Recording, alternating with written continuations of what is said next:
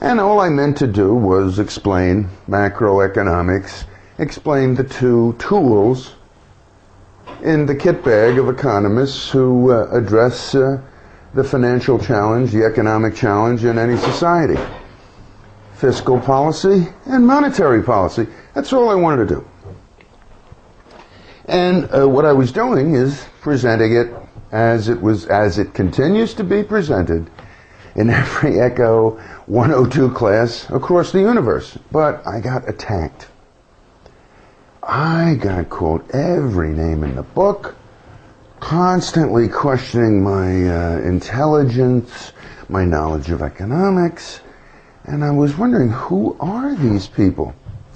So it turned out what they are are called Austrian school folks.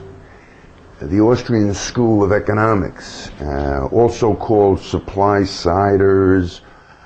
Uh, okay, now, followers of von Hayek and von Mises and Rothbard, okay.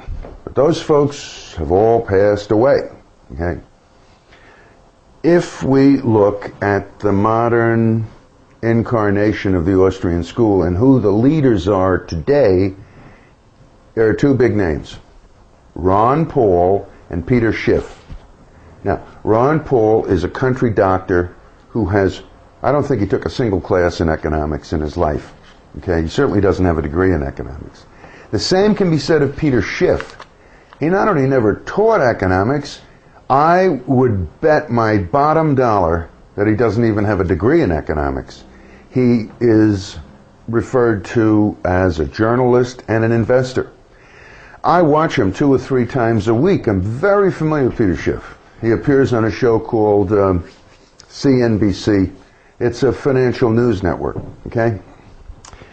And he's pretty much, la- you know, these are traders on the show, okay? Active traders who trade millions, uh, if not billions, every day. And uh, to them, he's a joke, Peter Schiff, okay?